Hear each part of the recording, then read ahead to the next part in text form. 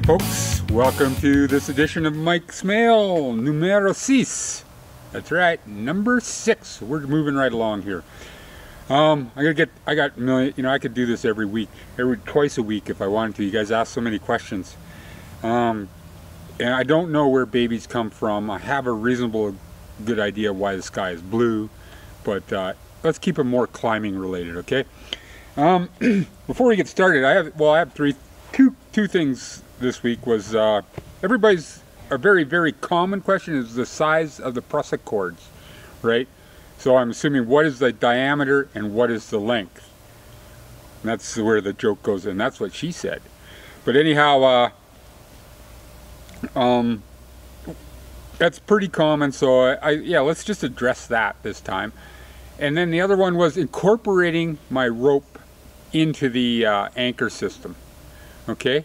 But before we do that, I was up on the, trying to get up on top of this wall and do some bolting the other day, and then I got, whatever, clipped up. I, I couldn't get around, and I was starting to climb up, and I wasn't comfortable down climbing, so I had to wrap a sling around a tree and then rappel down to get out of there. And I uh, cut a the sling with my pin hammer. This pin hammer here, actually, I found this pin hammer on Cascade Waterfall way back in the day, mid 80s, and if it's yours and you want it back, too bad. Grown attached to it. So I'll show you how I cut that sling, and I do this quite often. If I'm ice climbing or something like that, where I have a hammer on me, on one of my tools, then I can just very quickly just cut the uh, cord without looking around for my knife, because you know what, nine times out of ten, my knife is in the back of my best friend, and if he's not with me, then I don't have a knife on me. All right, so I'm going to do it, actually I'm going to do it right here on this rounded river rock so the sharper the edge, the better for cutting the cord. But uh, I'll show you that you can do it really quick with uh, just pin hammer. And I'm using webbing, which is even harder to cut than most materials. Uh, so let's do that. This is well, this is rounded. So let's take a look here. And then all I do is just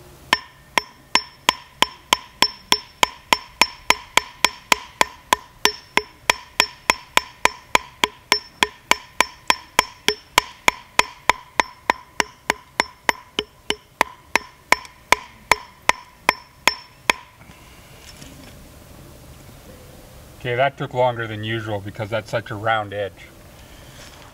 Okay, first up in this edition of Mike's Mail is um, incorporating my rope into the anchor. Hey, Mike here again. Um, I had a question about involving ropes, your climbing rope that you're tied to, and involving it in building your anchor. Um, and how do I feel about that? And I got to admit to having a bit of a personal bias where I really just don't do that, you know. And whenever I do see somebody doing it, it just looks odd to me. Uh, cases where it might be feasible is, you know, if you're coming up to a two bolt anchor and you know they're two really good bolts, ring bolts or whatever, um, you might be able to justify doing that. I think the problem for me though is, number one, um, it uses up an awful lot of rope. So you got to involve your rope, and if you you know you got a rope stretcher pitch, uh, you may not have enough rope. If you're if that's all you're counting on is to build your anchor with your rope, uh, you might find yourself hooped one day. And number two is that's all fine and dandy, even if you can do that, uh, up until you have a problem. And then if you take a look at you know one of the videos we produced a few episodes ago, uh, the counterbalance carry. Um, it adds an extra and a very complex step into escaping the belay and then going into a rescue scenario. And so, for that reason, and one other reason too, is equalizing the anchor uh, becomes a bit of an issue. Let's assume that I just got up here and now I want to build an anchor. So I came all the way up and got a nice crack. So I'm going to drop in a wire real quickly here do. Slides in. Whew, textbook, baby. Textbook. And what do I got else? I got a go with a small can, number one.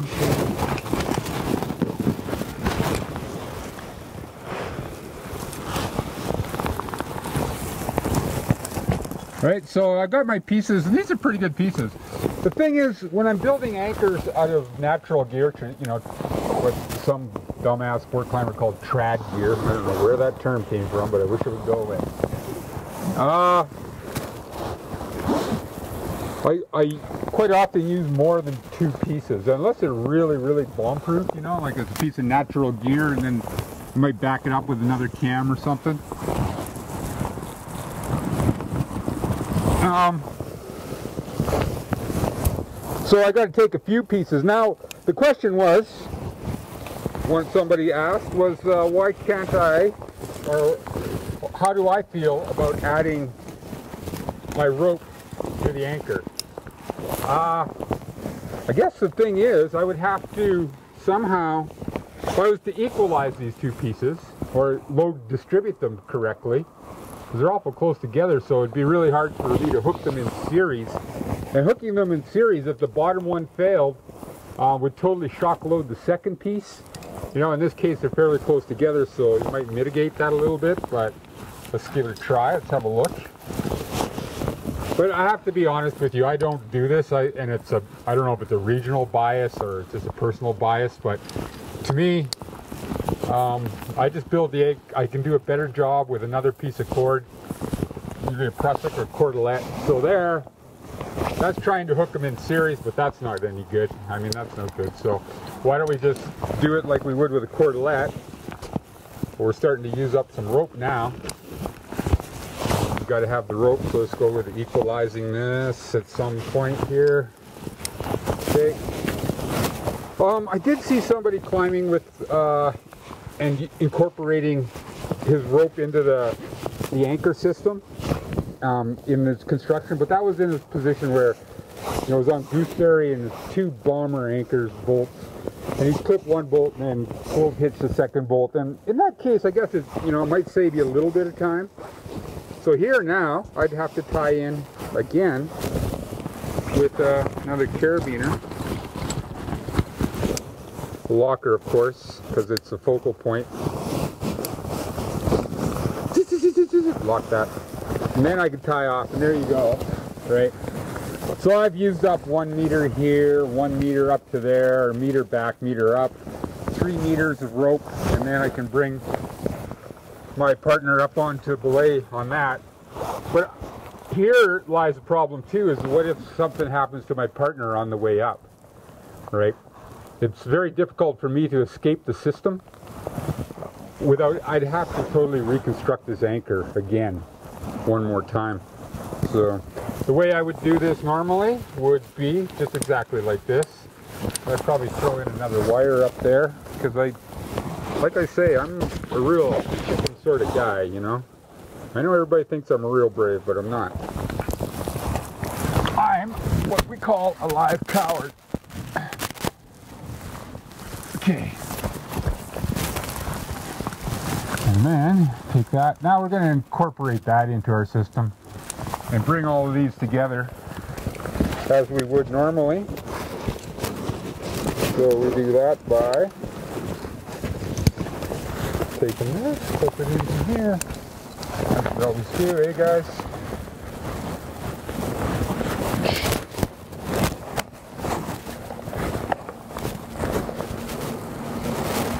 I'm to do it proper single fisherman's here.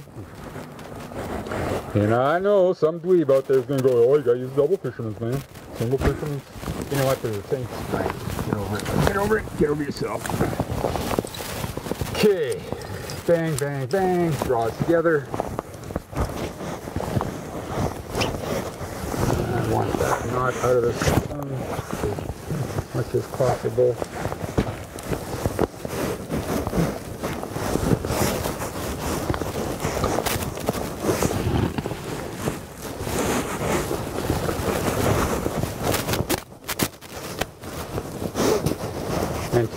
My direction of load, wherever that's going to be. In this case, I'm saying it's right there. Go back. I've got a whole bunch of cords, so I'm just going to do an overhand.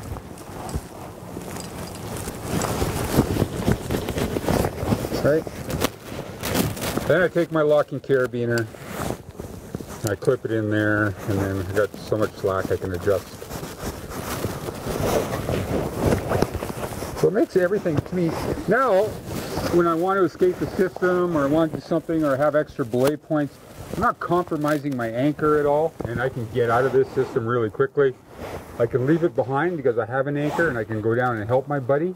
I bring my buddy up, and to say he doesn't want to lead the next pitch, well, I went and pretty much forced him to unless we want to build the whole anchor and, and take my rope out of the anchor system. So I'm going to have to say I don't really approve of it. I don't, it's up to you. I mean, there's regional biases and there might be places and times where it's appropriate to do that, but 99.9% .9 of the time, I would say construct your anchor separate from your rope so that you can retrieve your rope, you can switch belays, you can restack the rope and you can lead again. Um, if you have a problem, you can go down and, and, arrest the problem, fix your buddy up, and then come back up. Uh, it's easier to equalize all the pieces, so I get a stronger anchor, and I don't incorporate a whole bunch of cord because sooner or later you're going to find yourself on a rope stretcher pitch. You know, you might, because if we're building natural anchors, there might be one of those belays on yam or something where you just don't find where the anchor is supposed to go or you passed it and didn't recognize that spot and there you are stuck and you can't down climb so you build your anchor wherever right so um, so here's another good example too I got like the perfect little pocket in here you know and it's got a bit of a lip on the outside edge of it so that cam is sitting in there very good but this one here because of the flaring nature of it I can't seem to get a good cam or at least not with the cams that I have on me right now. But it does have a pinch in here where I could get a rope through. Now, if I were trying to build an anchor with my rope, well, there's no way with that little pinch that I'd be able to get that uh, in there. So, you know, there's another another case scenario too where, you know, if I was to build a proper anchor, as I want to do, always want to do,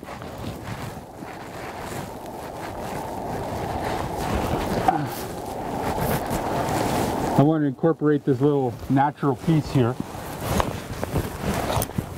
into into the rest of my anchor. And I wouldn't be able to do that if I was just using a uh, my incorporating my rope. So I, I do believe too also that you know using a separate cord gives you a lot more options. Um, I know it feels like I'm throwing a saddle on a dead horse. I've already explained to you why I don't like this, but I'm gonna I'm gonna beat this into you. I'm gonna beat it into you, folks. Okay, and I'm using uh, Fisherman's here, single, just because I'm that kind of guy. Now, you know what? I feel pretty good. That, that rock pinch is not too bad. I know this cam is about as good as cams get. So there's my direction of load. Bang.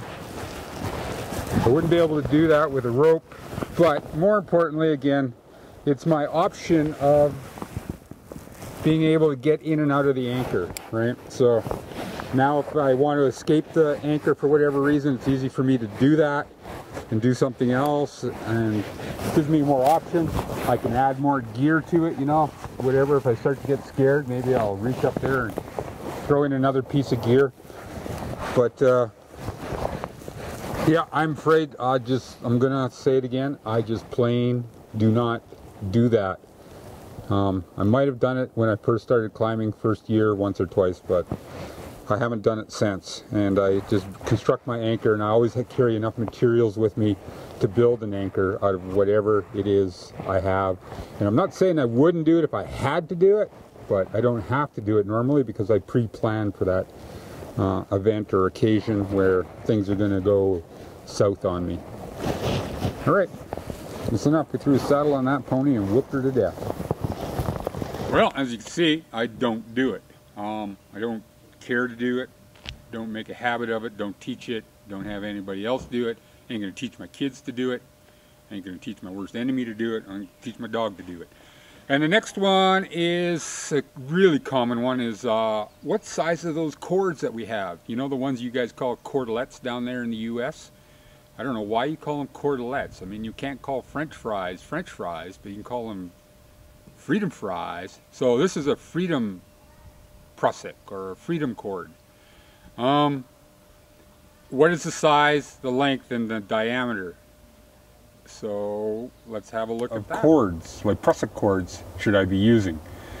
Um, I'm assuming now the diameter and the length are what you're inquiring about, but I can answer both those questions at the same time. It's nothing extra.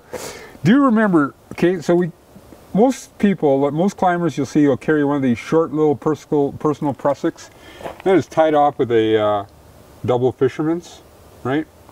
Um, those are really handy, all kinds of things, and it's made up and ready to go, so you can just grab it off your harness. I loop it on my harness. I don't even attach it with a carabiner or anything, just around the waist belt, and uh, and then through itself, and it's always there, and I can just grab it and go. Um, remember, too, that when it comes to making clamps for the rope, I mean, we tend to call it, you know, prusiks and things like that, and those sort of cords, but these small sewn slings uh, work really well. Also something that I carry, I used to carry a lot whenever I found with guiding in the bugs or places where I throw around horns is this, uh, I don't know what it is, quarter inch super tape, but it's really subtle, supple. And it's about the only thing that bites on really, um, really, really small diameter ropes. And you can use a French or on that. And this tape, you know, if you can see it, is really thin and really supple. And it'll grab onto a six mil uh, like if a heli ski rope or a ski touring rope, you know, you might have a six or seven mil or eight mil uh, ski touring rope that is really light. And these things will actually work where nothing else will. So, know, and also it's strong enough to make up for anchors and things like that. So you may want to think about that. Um, at the same time too, people quite often will carry some sort of uh, mechanical clamp that'll work just as well. So this little Ropeman's a handy little tool. And then, like I said, the sewn sling. Um, this is kind of like the industry standard, or it used to be anyhow, uh, when I was a puppy, was a five meters of seven millimeter prusik.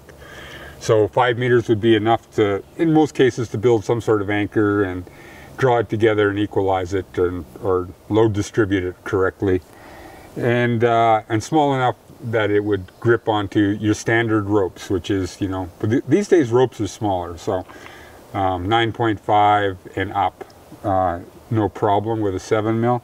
I've actually grown quite fond of using these 6 mils, and so I'll carry like a longer prusik and, and still less, less of a bundle, and I'll carry um, 6 meters to 7 meters of uh, cord which allows me to, you know, bring multiple pieces together and still have plenty of cord left over. So, I my personal favorite is six mil, seven meters in length. Right. And then of course, also these slings, sewn slings work really well for gripping ropes. So, you know, you, and you should have plenty of those. If you're on a big multi-pitch climb where you're going to need this sort of stuff, then uh, you'll have these sewn these sewn slings, these Dyneema, Spectra, whatever they are, sort of slings. Okay. I'll put them on the rope. Now people are going like you need it has to be smaller and I mean that old that's old school and that's the way I learned too is that here's two ropes of the same size essentially. Let's just put a quick prusik on. And the only reason I say they have to be smaller is because everybody else has said it and I've never actually tried it myself. But it's also starting to look like, yeah, this rope on rope, 10 mil rope on a 10 mil rope isn't going to go over too well. So, for one, it's not very subtle, supple. Other, it doesn't clean up very well. Okay, we're not even going to go there, folks. This isn't working out at all. No. Okay, so it, does have to be smaller. There's a reason people said that. Right. Whereas if you were to take your small personal prusik, of course it's the one that's buried the deepest.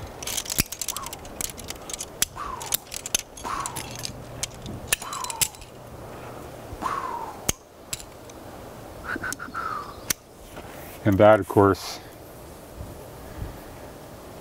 one, two, three in emergency situations. Two will work fine.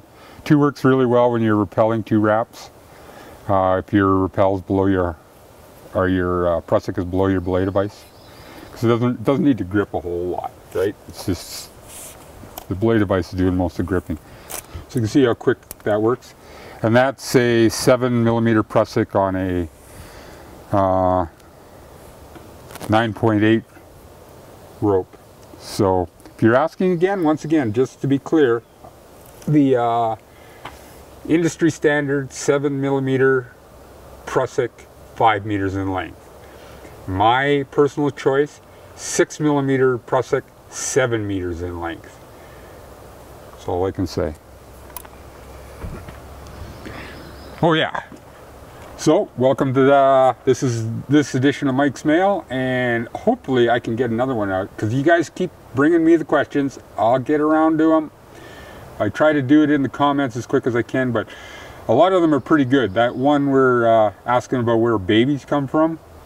If I knew that, I'd stop having them, right? So, see you later.